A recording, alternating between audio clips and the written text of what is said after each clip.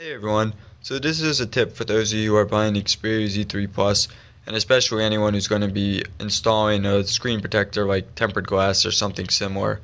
Um, so all the versions of the Xperia Z3 Plus actually come with a pre-installed or pre-applied rather screen protector.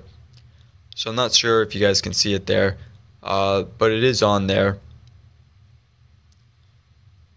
And again, it's shipped this way, so uh, when you get it, there'll actually be like two, or rather, there'll be like another sheet of uh, plastic over this, but then you also have to take this one off. Um, of course, that is if you want to remove it.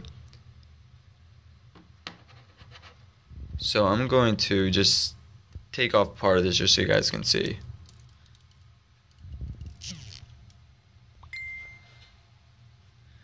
Yeah, and when I actually first got this, I didn't realize that it was on here and uh, I thought that the screen or the display felt a little, um, I guess you could say less responsive. Like you just had to apply more pressure to it, and so now I know why that is. But I think for um, if anyone's planning on getting like tempered glass, which I'm planning on doing, I think it's a good idea to remove this first. Alright guys, thanks for watching.